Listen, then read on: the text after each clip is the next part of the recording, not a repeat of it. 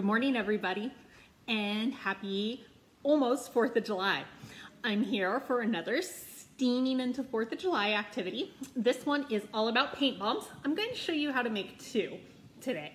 One that is great for more your littles, even our older kids like it.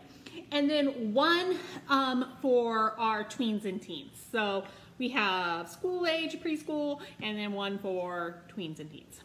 So what you're going to need is a paper towel cut into fourths, a film canister, some plain white distilled vinegar, a bunch of baking soda. You can't go wrong, get a lot of it. Um, red, white, and blue paint, or paint of your color. I'm doing red, white, and blue because it's festive. Some warm water, and an Alka-Seltzer tab. You're also going to need a few Ziploc bags. Now, what you are going to be doing is I'm going to start with the Ziploc bag one, which is our younger um, kid version. This one, you are going to put a half a cup of vinegar and one fourth of a cup warm water. So into your Ziploc. Um, and you're also going to put paint. Whatever color paint you want, it's best to always use um, washable paint because otherwise you will be sad because it could stain. This, I'm prepping these bags inside, but this is definitely, you need to go outside activity to do. Um, I also forgot to tell you, you're going to need like a piece of poster board or cardboard or a large piece of paper because these are going to explode and if you put paint in them, they can stain if you have the wrong kind of paint. So here is our fourth of a cup warm water. Then we need a half a cup of vinegar.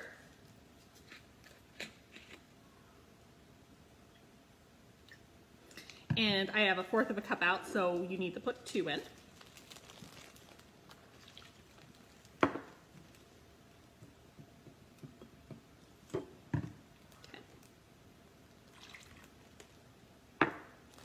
So that is what you're doing right there. Next, you're going to add your paint. You can also add food coloring. Food coloring doesn't turn out as bright um, as the paint and doesn't really make a pretty mural. So if you're kind of looking like, hmm, maybe we can turn this into a lovely piece of art, then definitely use some paints. Um, you're just gonna squirt how much ever paint you want in there.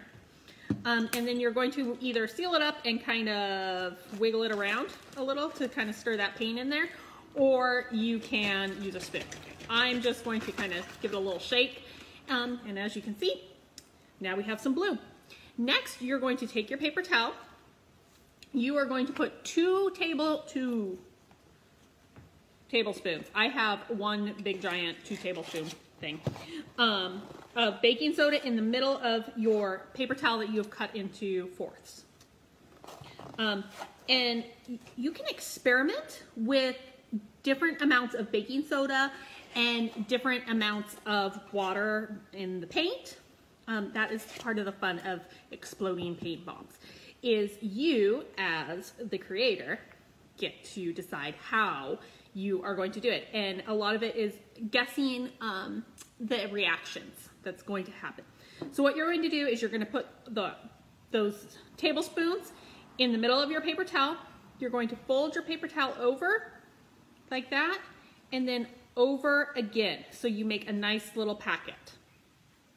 Okay, so our first paint is prepped. So that's, now, now you have your baking soda packet. So done, prepped. Do not put it in your bag yet. You will be sad if you put it in your bag in the house because your mom will not be happy with you. Okay, your second one. You are going to add 50% paint and 50% water into your film canister.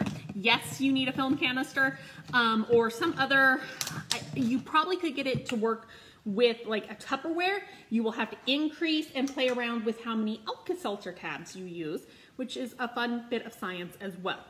Um, I'm using a film canister. So we did blue, I'm going to do red in this one. And it doesn't have to be perfect, guys. Um, don't like get all caught up in like, I don't know. So there's that. Um, I filled mm, maybe a quarter of the way up and then put another bit with that.